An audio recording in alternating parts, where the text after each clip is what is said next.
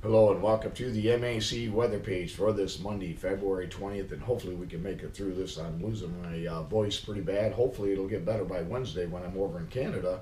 But uh, right now we've seen lots of records shattered across the state on Saturday. We had a few broken on Sunday, and I think we'll see some more record high temperatures fall this week, especially as we get into Wednesday when we could see temperatures possibly approaching the mid 60s to low 70s in some areas. So Wednesday right now looks like an absolutely fantastic day. Of course, uh, today will be a pretty good day today as well, and then tomorrow afternoon will be quite nice as well.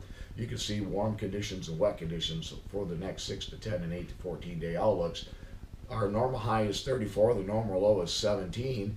And if we look at the warmest and coldest temperatures across the lower 48 for Sunday, you can see the warm spot 93 degrees at McAllen, Texas, and low, a relatively mild 12 above zero at Mammoth Lakes, California. Across the MAC area yesterday, you can see temperatures mainly in the upper 50s to low 60s. The warm spot, Jasper, up to 65 degrees, and the cold spot at Newaygo at 25. And you can see we're running over 5.5 degrees above normal per day. So, so far, a very warm February indeed. And if we look at conditions around the area this morning, relatively mild mid to upper 30s across the region. You can see some of the scrolling record highs from Saturday, and we'll update this scrolling banner with record highs that were uh, achieved yesterday across the state. And if we look at the uh, low level wind field, you can see off to our west a lot of deep moisture, a lot of southerly warm winds moving up into um, parts of the high plains. As this system moves this way, we'll see our temperatures increase, but also we'll see an increase in moisture. In fact, by tonight, we could see some showers, maybe even a rumble of thunder move through the area. You can see that deep moisture on the satellite view coming up into the Great Lakes or towards the Great Lakes. And again, as that system moves to the east, we'll see plenty of showers break out uh, especially for very, very late tonight into uh, the early afternoon hours across the eastern areas tomorrow. But again, I think most locations will see over a quarter of an inch of rain, possibly up to around a half inch. Of course, always more if you get underneath a thunderstorm. And you can see some of that shower and thunderstorm activity well off to our west. But again, as the system moves east, those will move into the area for later tonight. And while there's nothing on the MAC lightning detection network system right now, we'll likely see some of that activity increase overnight. And if we look farther ahead as the main system pulls through on Friday, which will then bring cold air back into the region over the weekend with maybe even some snow, we'll see a very uh, significant outlook for five days in advance to be showing this. So this could be a pretty significant severe weather outbreak across parts of the Ohio Valley and the southern Great Lakes. So someone will keep an eye on here over the next several days.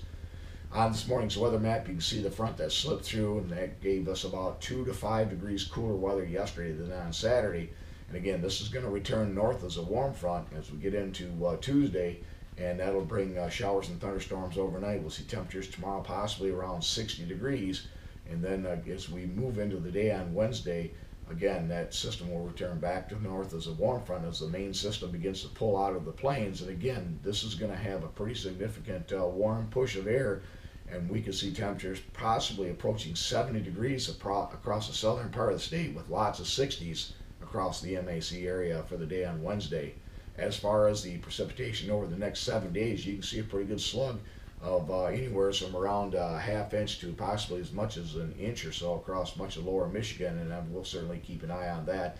But uh, certainly some rain is definitely in the forecast. And some of that off to the northwest will be in the form of snow. But over the next three days, we do not expect any snow at all.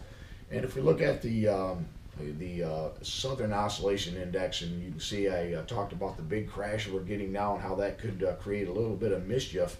And as we get into the early, the uh, middle part of next week, we expect a second storm that could bring some significant snow. Again, this is only wish casting. I'm not saying we're going to get over a foot of snow across the area, but the GFS is picking up on that. Now, the first storm that would come in for late this weekend of the weekend would take the snow across parts of Minnesota, northern Iowa, Wisconsin into the UP. And this would be for the early to middle part of next week if that were to happen. Right now, the uh, European shows a weaker system off to the south, bringing about two to six inches of snow across parts of central and southern Ohio and Indiana.